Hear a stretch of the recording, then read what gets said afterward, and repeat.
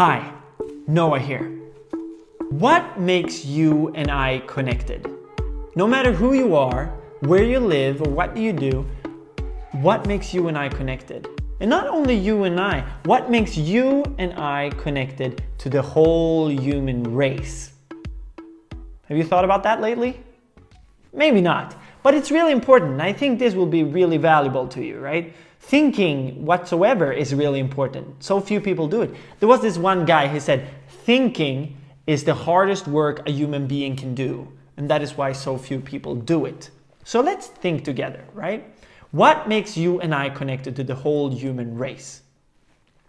Isn't that that we as human beings always want something more? We're longing for something more, something better, right? For example, if you have good finances, you probably want better health. If you got good health, you probably want better relationships, deepen your relationships. Or if you got that, maybe you just want to feel better, right? We always want something more, and that is human nature.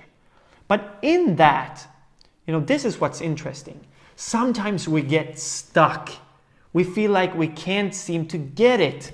We can't improve that relationship or my financial situation is just overwhelming or we feel stuck in the body you know?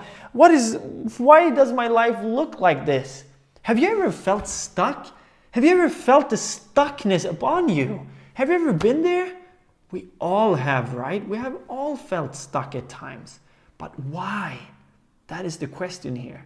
And i'm here to offer you my answer the noah answer since that is the only answer i can give you but whenever we feel stuck, that is because we think life or that life situation is the reflection of, our, of who we are. That life is a reflection of who we are.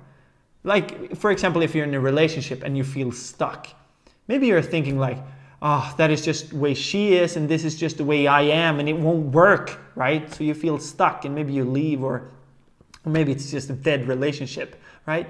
But that is not true. Life situations is not a reflection of who we are. But this is the key. Life, your life situation in that area is a reflection of the patterns you are using. Life is a reflection of your patterns. Because if you think about it, finances, for example, if you're dissatisfied with your finances, let me ask you a question. What are your saving patterns? What are your investing patterns? Or even more important, what are your spending patterns? How much money do you spend? Where do you spend it? How often do you spend it, right? All of that, those patterns will determine your finances. Your health. Let me ask you, if you're dissatisfied with your health, what is your eating patterns? When do you eat? How much do you eat? Do you eat when you're stressed? Is that a pattern? Is that a pattern that you eat when you have nothing to do? Or your exercise pattern? All of those patterns will determine your health. Your relationships. How often do you spend time with that person? Who do you spend your time with? And what do you do during that time? It will determine your relationships. It all comes down to pattern. Even our emotional well being, right? When life happens, all those things, what are your focusing patterns? What do you tend to focus on in those situations? Or your thinking patterns? What do you think about those people? What do you think about, you know, people who are upset? All of that, our focusing thinking patterns will determine our well-being, right? So here are the great news. Since we know this, we know if we change our patterns, we will be able to change anything we want.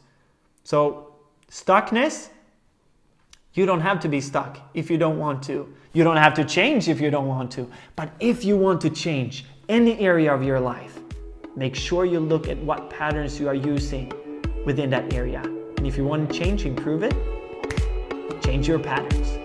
Explore your potential and live to grow.